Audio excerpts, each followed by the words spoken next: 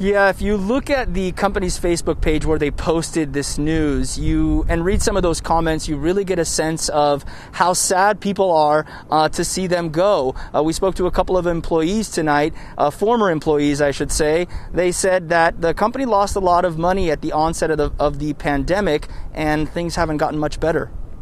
I don't work uh, for Sundance anymore. I just like today was like pretty much my last day because of everything that happened. A fleet of helicopters at Sundance headquarters are grounded, and the company says it's permanent.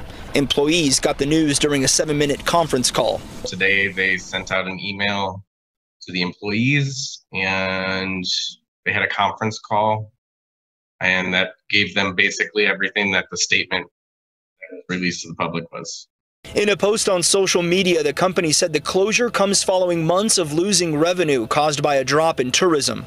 As far as I know, they, they're saying that the pandemic is the reason that they were unfortunately having to close down. Former employees say they saw signs of trouble a year ago, but the pandemic was the nail in the coffin. We had warning signs then that something was going on.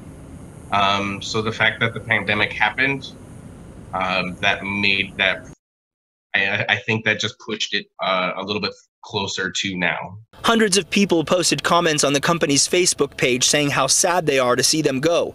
Some of those comments from tourists who visited from Europe. It was, it was a really uh, good learning experience. I mean, you meet people from everywhere, a lot of people from different backgrounds, a lot of, you know, pilots come in from everywhere, mechanics.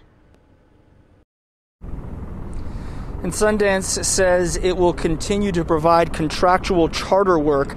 We reached out to the company for further comment but did not hear back. Reporting live, I'm Enzo Marino, Fox 5 News, local Las Vegas.